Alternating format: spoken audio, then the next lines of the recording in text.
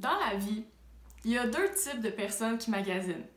Il y a ceux qui aiment fouiller, fouiner, puis il y en a d'autres qui n'ont pas une seconde à perdre avec ça.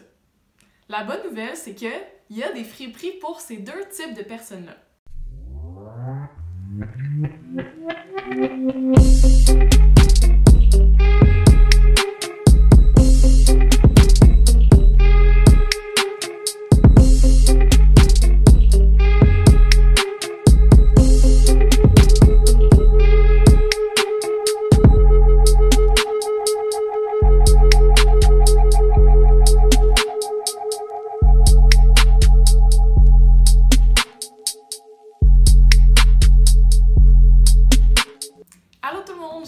Allez bien. Si t'es nouveau, nouvelle ici, ben enchanté, moi c'est Judith, puis bienvenue sur ma chaîne. Cette vidéo, c'est la deuxième d'une série de trois sur la mode éco-responsable. Si vous n'avez pas vu euh, la première vidéo, je vous conseille vraiment d'y aller pour avoir un petit peu plus d'informations sur euh, les effets de la fast fashion, puis pour avoir euh, l'expérience complète en général. Dans la dernière vidéo, on a abordé les bases de la mode éco-responsable, puis là on est rendu à l'achat seconde main. Personnellement, avant même d'être au courant des impacts de la fast fashion, je magasinais déjà beaucoup seconde main. Pourquoi? Pour payer moins cher pour mes vêtements, puis aussi pour avoir des pièces uniques différentes des autres. Aujourd'hui, il y a vraiment plusieurs types de friperies différentes pour différents types de personnes. Puis même pour les gens qui habitent à l'extérieur des villes où des fois il y a moins de choix à ce niveau-là, mais maintenant il y a énormément de friperies en ligne, donc c'est vraiment rendu accessible à tout le monde. Pour commencer, je vais vous amener chez Eva B, qui est ma friperie préférée depuis toujours à Montréal.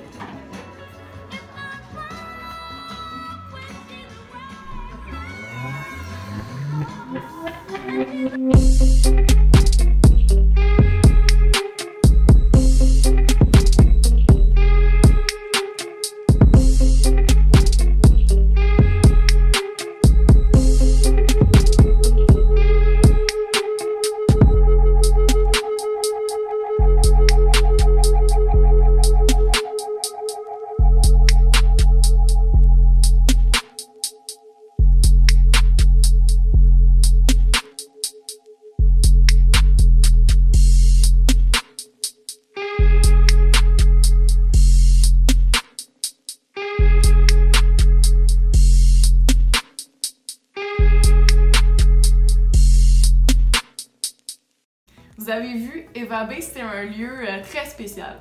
Là-bas, c'est clair qu'il faut que tu t'attendes à chercher. C'est sur deux étages, il y a plein de petits raccoins, c'est un peu sombre. Point négatif, c'est que les vêtements peuvent avoir des taches ou des imperfections, puis c'est pas facile de le voir quand t'es là-bas parce qu'il n'y a pas beaucoup de lumière.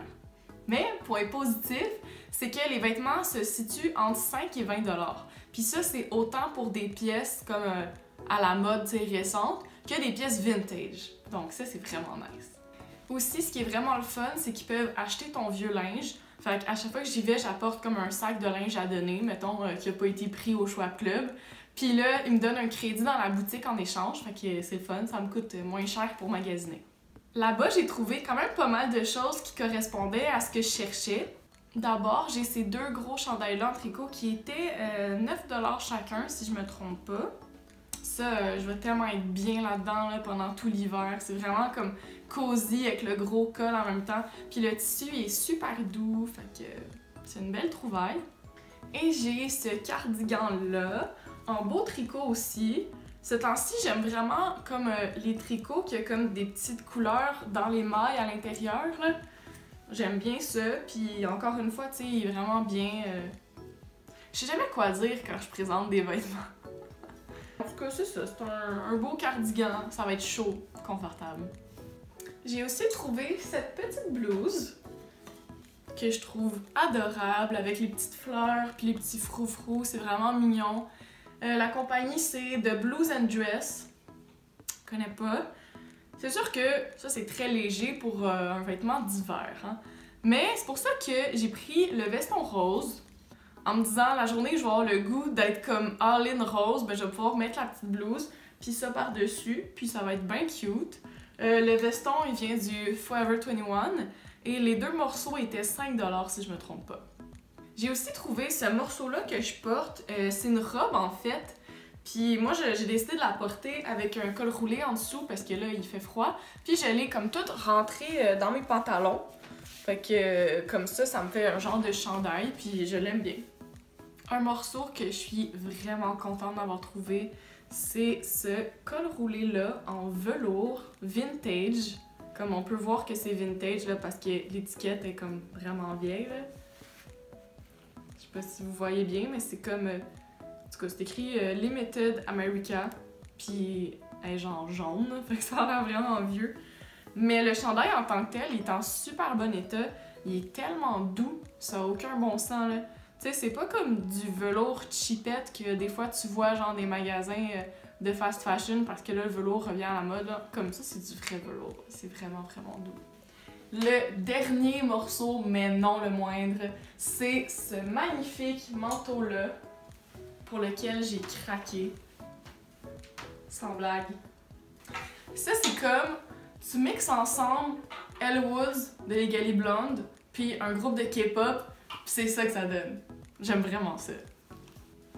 Fait que, euh, il était 15$, puis le chandail en velours vintage aussi était 15$. Je suis très consciente que des friperies comme celle-là, c'est pas pour tout le monde. sais pas, pas tout le monde qui aime ça, avoir à chercher beaucoup puis être comme entouré de comme un million d'affaires. Il existe d'autres friperies qui présélectionnent minutieusement les vêtements. Ils peuvent les sélectionner selon certaines marques plus haut de gamme, euh, selon des coupes plus intemporelles, euh, la qualité des tissus, etc. C'est le cas entre autres de l'Empire de l'échange à Montréal, où on peut aussi euh, vendre nos vêtements, mais selon des critères très précis c'est beaucoup plus aéré que chez Eva B. Il y a moins de choses, on voit mieux les vêtements, mais un point à considérer, c'est que c'est plus dispendieux. Par exemple, j'ai acheté ce cardigan-là en cachemire qui m'a coûté 38 Donc 38 pour une friperie, c'est pas rien, mais quand tu compares que si je l'avais acheté neuf, ça m'aurait coûté comme 200-300 Donc je me serais probablement jamais acheté ça neuf. Donc, euh, ça vaut la peine si on veut s'acheter des choses de qualité puis les garder longtemps. Il existe aussi tout un univers de friperies en ligne. Il y a la plateforme Bon Magasinage, entre autres, sur laquelle on peut acheter ou vendre des vêtements seconde main. Donc, on peut vendre nos vêtements puis l'acheter de d'autres personnes. C'était peut-être déjà assez clair, mais en tout cas, je sais pas pourquoi je le précise. Avant ça, il y avait Depop. Je pense que ça existe encore, mais on en parle un petit peu moins.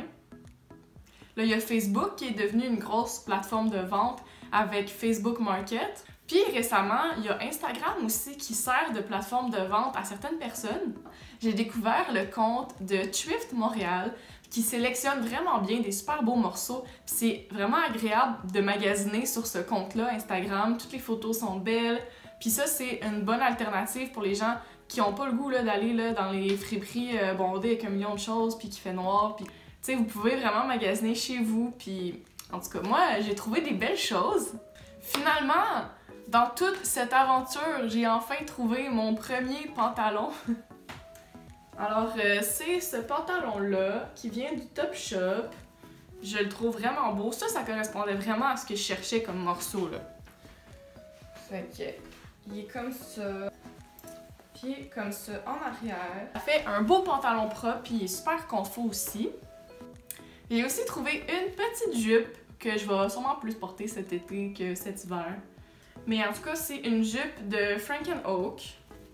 Puis, euh, elle est bien belle. Une bonne, belle jupe en jeans.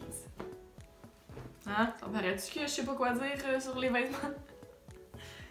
J'ai aussi acheté ces deux chandails-là que j'adore. Donc, il y a lui, premièrement, avec les roses ça, c'était mon coup de cœur instantané. Dès qu'il y a des fleurs dessus, ça allait me chercher. Puis lui, il vient du H&M. Et il y a lui, le beau chandail, qui est tout simple, mais c'est les petits froufrous dans le bas là, qui font toute la différence. Puis il est vraiment doux. Celui-là, il vient euh, du Simons. Ces vêtements-là m'ont coûté environ 10 à 15 dollars chacun. Je pense que le sujet des friperies, là, je pourrais vous en parler pendant longtemps. Là, je vous ai présenté trois alternatives vraiment différentes, un peu pour tous les goûts. Fait que t'as l'option euh, tu cherches, tu fouilles puis tu déterres des trésors. T'as l'option où tout est déjà présélectionné, de qualité, tout beau, puis t'achètes les trucs à un prix un peu plus élevé. Puis t'as l'option magasinage en ligne, mais il existe tout un monde entre tout ça. Donc c'est sûr que j'aurais d'autres choses à vous dire sur le sujet. Mais pour aujourd'hui, je vous encourage à écrire dans les commentaires si vous avez une friperie que vous aimez, si vous avez une plateforme de vente de vêtements en ligne que vous aimez, ou si vous-même vous vendez des vêtements en ligne, écrivez-le. Ça va vraiment nous donner encore plus de choix. Puis euh, manquez pas la suite la semaine prochaine. La semaine prochaine, on rentre dans l'univers du neuf. Parce que c'est possible d'acheter neuf, mais d'être quand même un petit peu plus éco-responsable. Donc j'ai hâte de vous présenter ça. Manquez pas ça. Puis je vous souhaite euh, entre-temps une belle semaine. Puis euh, ben c'est ça. Merci d'avoir écouté la vidéo. Bye! Les gens à vendre leur verre. Euh, c'est le. Ça vient du HM, c'est la compagnie euh, Divided. Divided. Divided. ok, non. Ça vient du HM, puis euh, je l'aime beaucoup. ah, ça c'est mon gâteau. Je reviens.